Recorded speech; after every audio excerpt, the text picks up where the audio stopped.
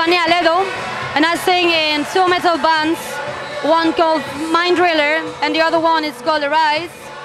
And I'm going to speak for Jan Vervaeke Photo Film and Metal to Infinity channel. Um, my best three records, no, two records of all time would be Fallen by Evanescence and The Silent Force by Within Temptation.